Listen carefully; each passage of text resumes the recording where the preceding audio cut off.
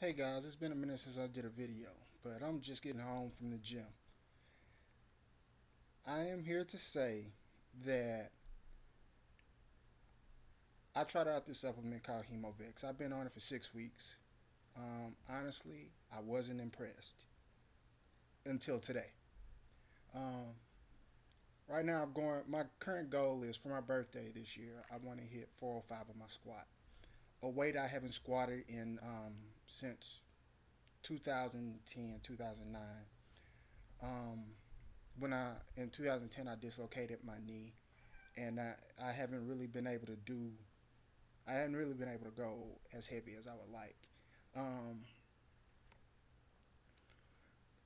and today, uh, my workout was pretty intense. Uh, I did eight sets of two with 285 plus um, 80 pounds worth of chains on. Um, pause at the bottom for two and then fire myself up. I was pretty, I was pretty uh, confident about that. So about this Hemovex, I didn't take it for my workout. I figured I was like, you know what? It really, I really hadn't seen the difference. So let me see what it's like to work out without it. So I did, and by the end of my work sets, by the time I got done with the last eight set of two, I was on my face. Uh, I was pretty, I was pretty spent. Um, I was doing 90 seconds rest, then I would do a set of shoulder presses, 90 seconds rest, and then I go back and do my work sets of squats, um, back and forth. Uh, and then I did eight. I did three sets of eight with 225.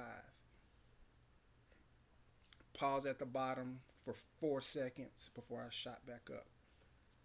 Um, it was pretty. It was pretty tough. Um, I, I felt like throwing up, falling over, dead. Mm, so at the end of my workout, um, I still had an eight mile bike ride home. And so I went on ahead and I decided I took me a five minute break and I went ahead and shook up me some Hemovex in my shaker bottle, which I keep with me. Drank it. Then I did a light workout for about 15, 20 minutes before I changed, got on my bike, and um, started my way home. Like I said, my legs were dead. I didn't think I was going to be able to even make it to my bike, let alone ride my bike home. And so when I started riding the bike home, about a block away from the gym, another gear kicked in. And it was on. I just started flying back to the house. And my legs went from dead to wide awake. Okay, I believe, I believe, I believe. Um, so this is the supplement, Hemovex.